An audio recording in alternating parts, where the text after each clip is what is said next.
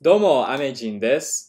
Today is lesson 29. It's not really a lesson, there's no new material. I'm just reviewing um, all the material we've learned from lesson 16 up till this lesson in preparation for assessment 2, which is going to be lesson 30. In video 30, I'll actually do the entire um, assessment for you and give you all the answers with some brief explanations. So um, definitely before you do the assessment, watch this video, practice everything, take the assessment yourself, and then watch lesson 30's video so that you can see um, all the answers and why those are the answers. But without further ado, let's go on to our review. Um, I'm going to start with lesson 16. I'm going to show you guys, you know, the conjugation charts and the grammar patterns as well as key sentences um, for every lesson that we've done from 16 all the way up to this lesson. So, our first uh, conjugation chart is with uh, shimas. Remember, shimas means it's a verb meaning to do. And what is done um, usually are certain verbs. So, for example, benkyo, undo, shukudai, uh, study, exercise, and homework. Um, you can study, benkyo shimas, benkyo shimas. You can exercise, undo shimas, undo shimas. And you can do homework, shukudai o shimasu. 宿題します. Okay? Um, next, I want to talk about the past tense with des. The past tense is でした Okay? A は B でした A was B. With must verbs, regular verbs, you take the must ending and you change it to ました So 行きます to go becomes 行きました went. 食べます to eat becomes 食べました I ate. 寝ます becomes 寝ました slept. And 勉強します becomes 勉強しました studied. Uh, not too hard. And then um, these we have these patterns when you're conjugating into the past negative. Remember the negative of des. Uh, there's two. De wa arimasen and ja arimasen. Now to make that negative past uh, in the past, you just add deshita, the the negative conjugation of des. Uh, so we have A wa B. De wa arimasen deshita. A was not B. A は B じゃありませんでした。Again, A was not B. When you have uh, regular verbs that aren't des, okay, so V must, verb must, uh, you can say, you can use the particle de to indicate where that action was taken. So if you study at the library, you would use de. 図書館で、えー、勉強します。Okay? Um, and if you if you want to indicate that you did an action with someone, you do that. You say that someone's name, and then to. Okay, to means with in this case, and then the verb to verb with a. And the key sentence for lesson 16 was 昨日図書館で友達と宿題をしました. so, kino is yesterday. Toshokan is library. De, at, with action verbs. Tomodachi, friend, to, with. Uh, shukudai homework shimashita, did. Literally, in, I mean, in English, this is yesterday. I did homework with a friend or friends at the library. Lesson 17, moving on. We have two grammar uh, structures here. A, ni, vimas, and a, e, vimas. Now remember this character is he, but it is pronounced e. That's only because it's a particle. Okay.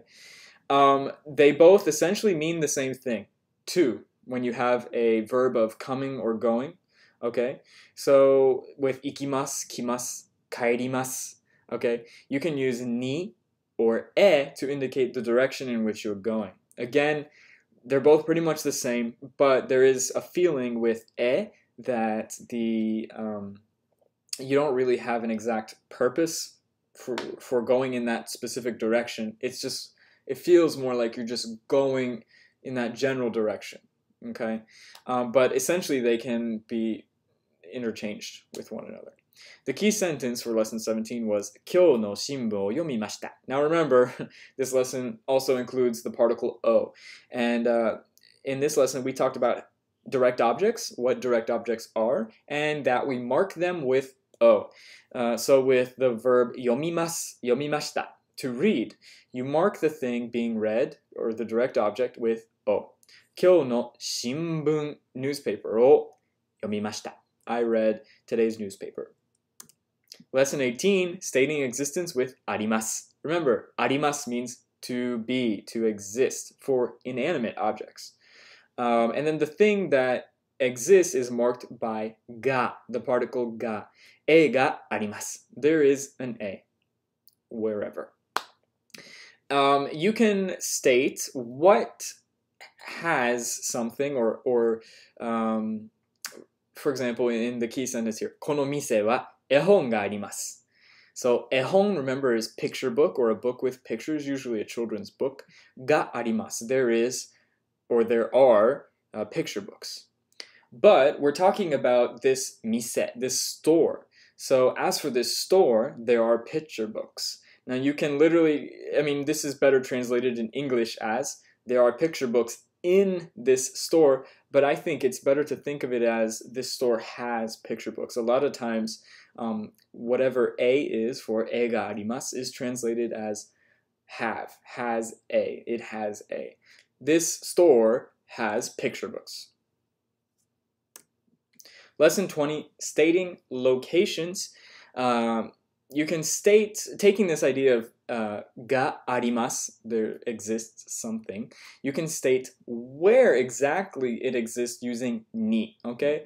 A ni b ga arimasu. There is a B at A. So at A, there's a B exists there. Um, and remember, arimasu is for inanimate objects. Imas is used for animate objects. A ni B ga imasu. And then you could kind of flip it around and change the direction of the sentence to talk and focus more on uh, something that exists in a place. So, A wa B ni arimasu. Or if it's animate, A wa B ni imasu. Okay, A is at B, or A exists at B. The key sentence for that lesson was Tashirojima wa Nihon ni arimasu. Remember, Tashirojima is the famous cat island in Japan, one of the cat islands. Um, and we're saying that as for that island, well, it exists in Japan. Tashirojima wa Nihon ni arimasu. Lesson 21, uh, we're talking about adjectives now. We have a bunch of adjectives that we introduced and how to conjugate them. You can conjugate adjectives. Um, let's focus on the negative conjugation of adjectives for now. Uh, we got a few here. 大きい、新しい、赤い、いい, okay? Big, new, red, good. To conjugate, uh, by the way, these are E adjectives. They all end in E. And to conjugate E adjectives, you take the final E and change it to kunai. Kunai. Okay, so 大きい becomes 大きくない。新しい、新しくない。赤い、赤くない。And E is an exception. This is the only exception, as far as I know, um, when it comes to adjectives in Japanese. Um, originally, E was yoi, but now people just say E. However, the conjugation patterns stayed the same for from uh, when it was yoi. So uh, E becomes yokunai when it is in the negative form. Another type of adjective that you have in Japanese are the na adjectives. Na adjectives. Here are some right here. Yume, kire, benri, rippa. All right, famous or well known, pretty or clean, uh, convenient, and then splendid. Rippa. And to conjugate those into the negative form, you conjugate them like uh, des, as if they had des at the end. So, um, negative would be dewa arimasen or ja arimasen. 有名じゃありません。not very well known. 綺麗じゃありません。not really clean. 便利じゃありません。not convenient. 立派じゃありません。not uh, fine or splendid. And the key sentence for lesson 21 was あの建物はとても古いです。So あの that thing over there 建物 building は、えー、とても remember とても means very very 古い old です。 So that building over there is very old. Lesson 22 um, was all about the particles yo and ne. These are sentence fi final particles. Um, I'm going to describe them really quickly. Uh, yo is used when the speaker thinks that the listener doesn't know the information that he or she is about to say. And it's usually used in a helpful uh, tone of voice or in, in situations where the speaker thinks they're being helpful uh, when they're giving this information. So if someone asks you, oh, what time is it right now? Oh, it's 2.40 desu yo. Okay, you can add yo in that case. Ne, this ne that we studied here, I like to call the friendly ne. Whenever you use ne at the end of the sentence, usually um, you're invoking some kind of response from the listener. Okay, and when you're just making statements, you can add ne to make it a little friendly and um, usually people use this when they want the listener to agree with them or to just say something in agreement. So the key sentence here, この公園は綺麗ですね. Uh, usually we'll have um, the listener, once they've listened to the speaker say this phrase, the listener usually will say something in response. Ah, so desu ne. And usually the listener's response will include ne as well. Lesson 23, asking for descriptions using donna. Remember, donna means what kind of. It's a question word. What kind of? 彼女はどんな人ですか彼女 she はどんな人 What kind of person ですか is she? What kind of person is she? Lesson 24, asking which using dore and the following ne. Uh, so um, dore means which one, which. But it has other forms, dochi and dochira. Dore is normally used for a list of items three or more. Dochi is normally used for a list of items two or more. I have actually seen dochira used for both um, to replace dore and dochi. Um, according to grammar books and whatever, dochira is similar to dochi in that and it also implies two items only. But uh, dochira in general, it just has a more formal feeling to it. Uh, so you can use it in place of dore or dochi, in my experience. And the final uh, grammar point for this lesson, I guess, is no. Um, typically, this special no follows adjectives, and it means the blank one. Okay, so the black one, kuroi no, the white one, shiroi no. Okay, it can be used like that. Hayashi-san no kuruma wa dore desu ka? So Hayashi-san is a person's name. Hayashi-san no kuruma, his car. Wa dore desu ka? Which one? Which one is it? Okay, and if you were asked to draw a picture of this, you'd probably draw three or more cars and someone pointing which one is it. Hayashi-san no kuruma. Dore desu ka? Lesson 25, listing nouns with to and ya. Uh, to and ya can be both translated as and in Japanese, but they're, they imply different things. So to, if you're listing things with to, to, to, to, um, you are implying that only these things exist or only these things are being um, talked about. With ya, the implication is the opposite. You're implying that there is more than what is just being said, which is why in parentheses I added and other things dot dot dot. Okay. この公園に鳥やリスがいます。鳥や Risu. So, uh, kono koen, this park, ni in this park. Tori is bird. Ya means and in this case. Risu is squirrel. Ga imas. There are. Um, I would translate this as in this park, there are birds and squirrels and many other animals. I don't know, something like that. Because the implication is there's more than just birds and squirrels. Lesson 26, location nouns. Um, in preparation for the assessment, it would be wise to memorize all the location nouns in the vocabulary part of that lesson. Uh, let's read the key sentence here. 食堂は図書館の隣です。食堂, remember, is the cafeteria, usually in a school setting like a university campus cafeteria or a high school cafeteria. は図書館、uh, library no the library's neighbor, neighboring, 隣 Tonari means neighboring, right? Des. So I would translate this eh, to English as the cafeteria is next to the library or is neighboring the library. Lesson 27, distance and duration. You remember uh, kara from the probably lesson 7, I think it was, doko kara kimashita ka? Uh, Igirisu kara kimashita, something like that. Kara means from.